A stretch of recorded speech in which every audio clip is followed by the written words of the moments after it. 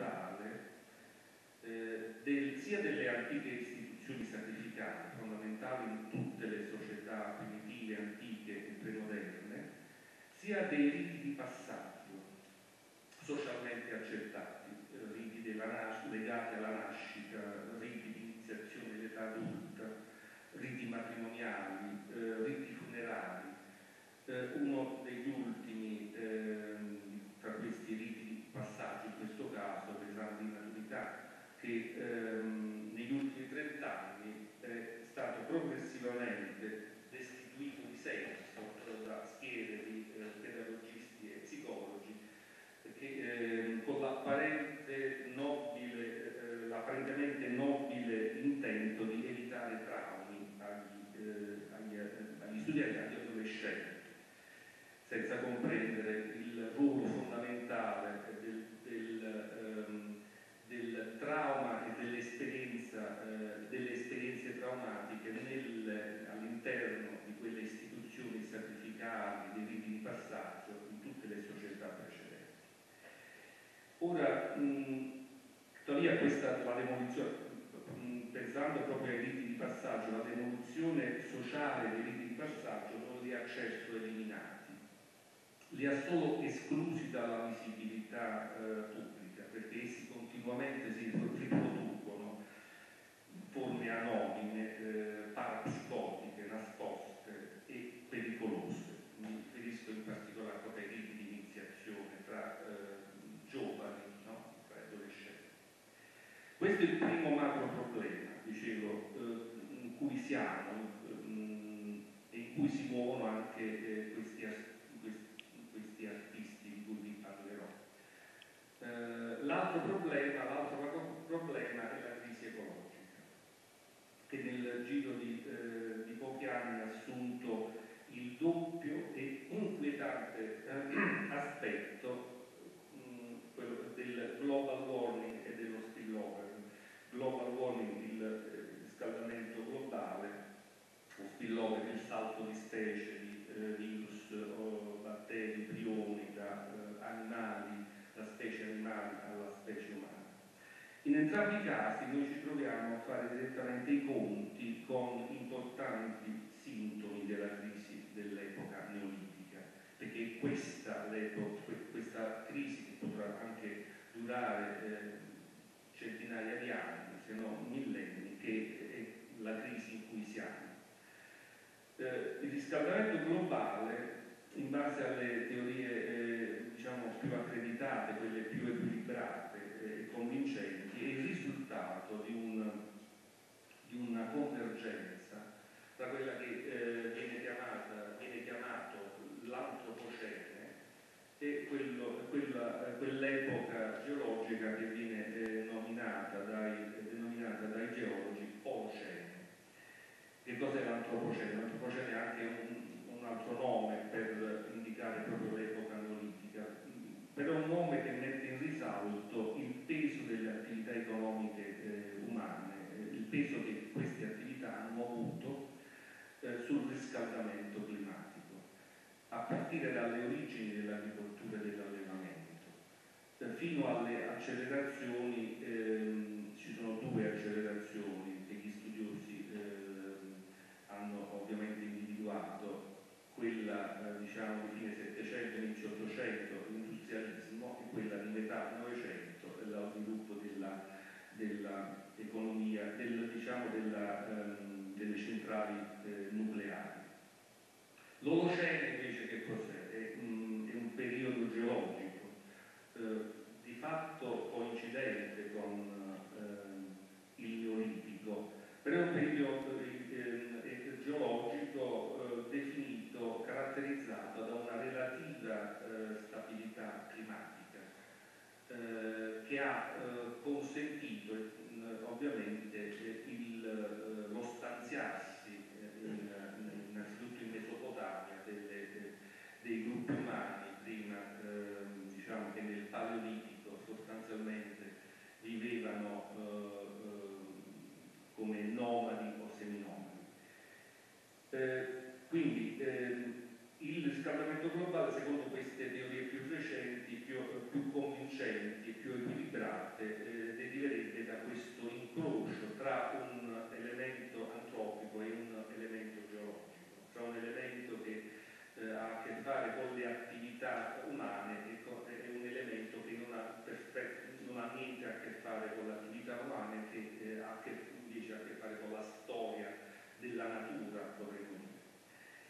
Ehm, invece l'altro aspetto della crisi ecologica, dicevo, la, la crisi ecologica in questi anni eh, ha assunto un doppio aspetto, è quello del, degli spillover. Mm, ovviamente in questi mesi eh, um, si è parlato molto naturalmente in relazione al Covid del, di cosa sia lo spillover, ma che cosa siano gli spillover, ma gli spillover iniziano con il neolitico e iniziano con una, eh, hanno origine in, in una delle più importanti innovazioni del neolitico, dell'epoca neolitica, che è l'allevamento e addomesticamento degli animali, eh, ovini, bovini, suini e polli innanzitutto, ma non solo. Per esempio sappiamo tutti eh, che eh, il morbillo eh, eh, è, un, è un, deriva da uno spillover dal, deriva dalla peste bovina ed è uno spillover che accade, secondo gli storici, insomma, della, della, eh, delle epidemie eh, intorno al 1100 in Europa, ma ce ne sono tantissime ed è molto probabile che l'epoca che eh, diciamo i prossimi anni saranno anni in cui situazioni simili a quelle che stiamo vivendo diventeranno uh, situazioni non proprio normali ma insomma quasi cioè ci saranno, è possibile che ci saranno altri uh, spillover perché gli spillover esistono da quando c'è appunto uh, da quando c'è il neolitico il terzo problema su cui dedico che accenno solamente perché quello è più conosciuto è lo sviluppo della tecnoscienza accelerato a partire dalla rivoluzione informatica fino appunto agli scenari recentissimi aperti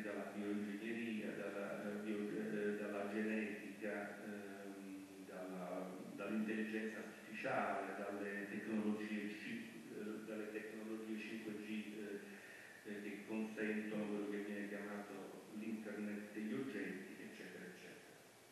Faccio ora un passo eh, avanti verso l'argomento della, della, mia conferenza, perché eh, l'intreccio di questi problemi, ne ho citato, ho citato tre macro problemi, ha condotto, tra i tanti effetti, alla definitiva crisi della nozione moderna di arte.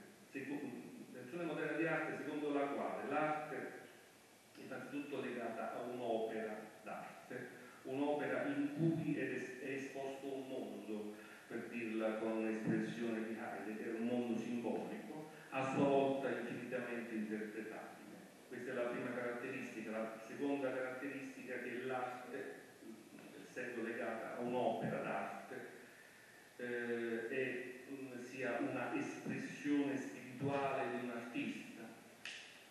Terza caratteristica dell'arte che fa parte di questa concezione moderna delle arti che è entrata in crisi, è che l'arte sia un fenomeno sostanzialmente unitario, che non ci siano le arti che hanno anche funzioni, storicamente funzioni, hanno avuto funzioni molto diverse, ma che ci sia l'arte e che la, distin la distinzione tra le arti sia solamente una distinzione pragmatica, come voleva anche il buon Benedetto Croce.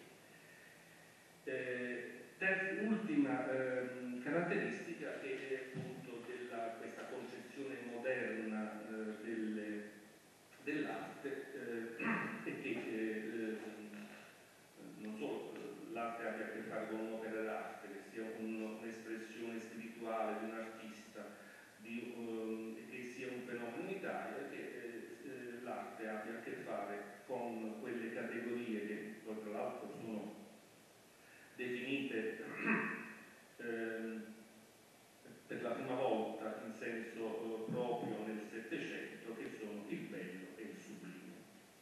Ora, questa concezione dell'arte nasce storicamente nel Rinascimento ed entra, a mio avviso, definitivamente, ma non solo a mio avviso, insomma, ci sono ormai biblioteche scritte su queste cose, definitivamente, definitivamente in crisi con la fine delle cosiddette avanguardie artistiche del Novecento. Se ci vogliamo mettere dentro anche tra le avanguardie artistiche anche la pop art fino alla pop art diciamo, degli anni 50-60.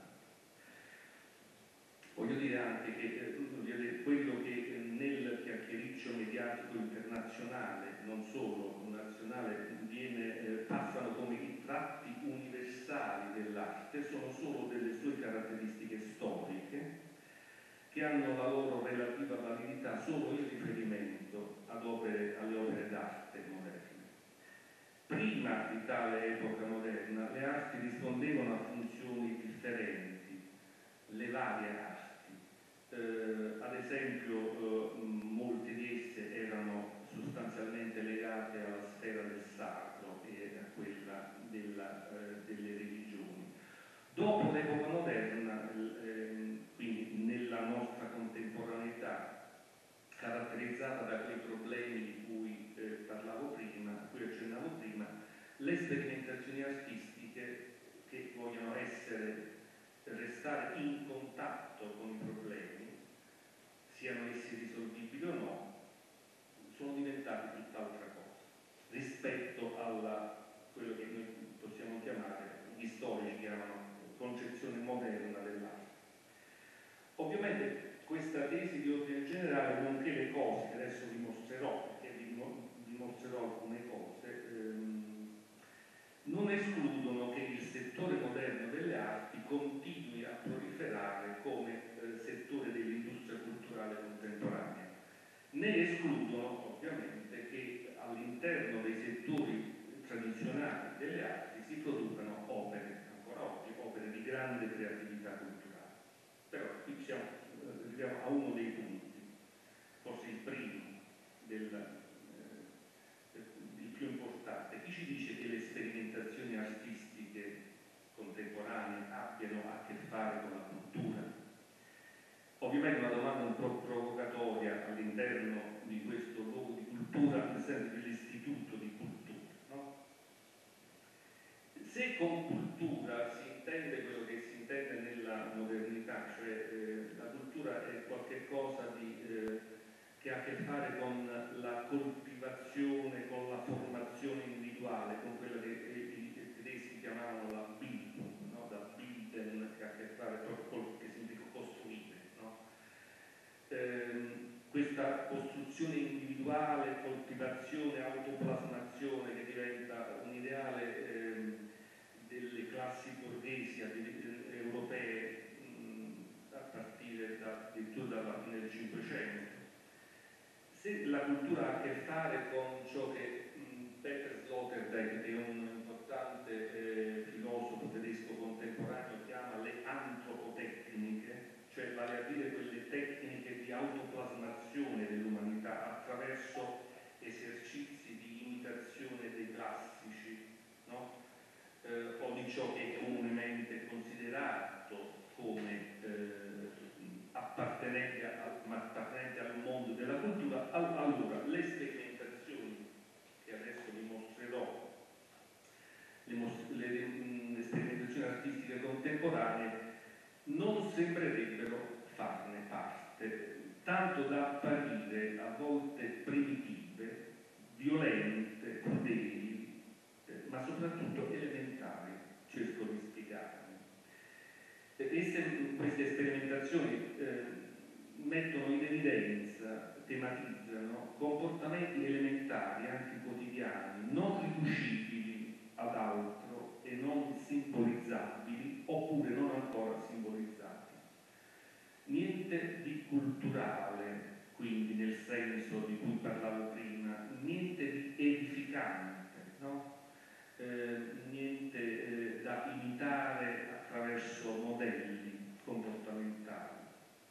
Dicevo, niente di edificante innanzitutto, bisogna prendere alla lettera questa uh, affermazione. Edificare significa costruire edifici, da edes, facere, no?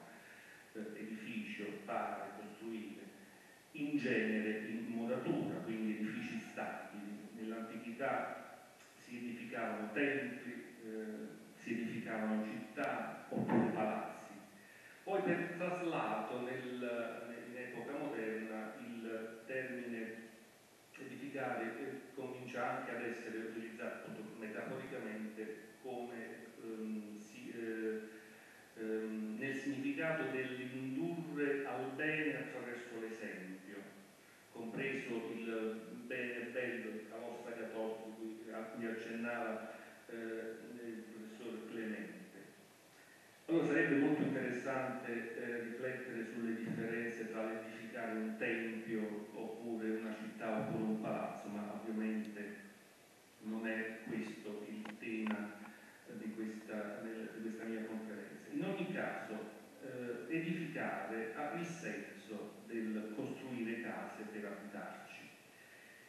E questo è il punto. Uno dei sintomi della eh, crisi degli ordini simbolici a cui ho accennato in apertura proprio ciò che i sociologi, gli antropologi anche i filosofi chiamano crisi dell'abitare, che è uno dei, mh, mm, che è un macro sintomo della lunga crisi dell'epoca neotipica che stiamo attraversando in quanto forma di vita no? e che ovviamente non ha niente a che fare con la crisi degli alloggi.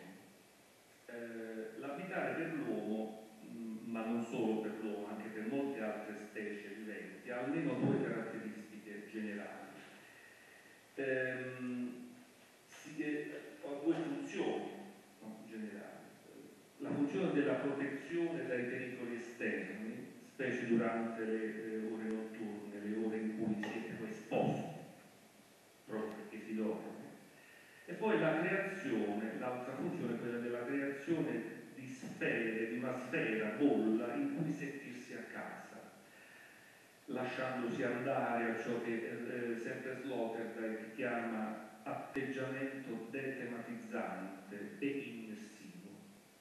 L'abitare in senso molto elementare, quindi ha a che fare con il fuori, con il dentro, con la protezione dal fuori inospitale e con la creazione di un dentro in cui immergersi.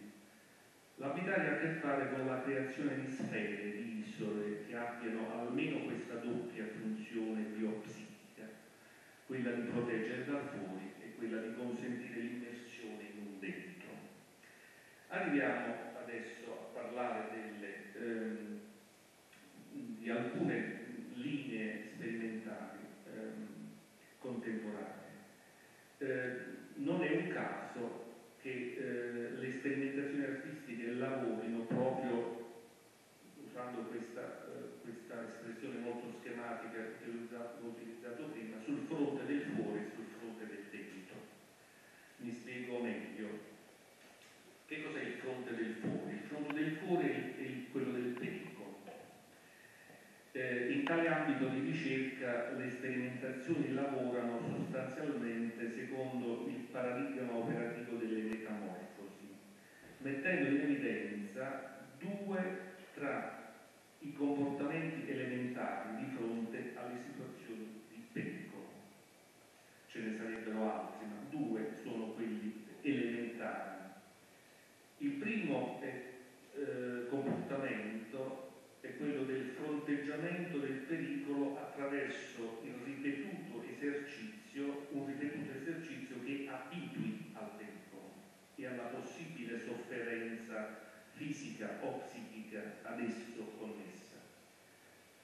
Si pensi anche qui ai riti sacrificali, che, una, che anche questa funzione avevano, oppure per usare un esempio apparentemente eterogeneo, all'addestramento militare o alle, ehm, alla, alle prove diciamo, di, eh, a cui si sottopongono quei, quegli atleti che eh, vogliono eh, appunto ehm, imparare a eh, ehm, sopravvivere no? in, in situazioni estreme.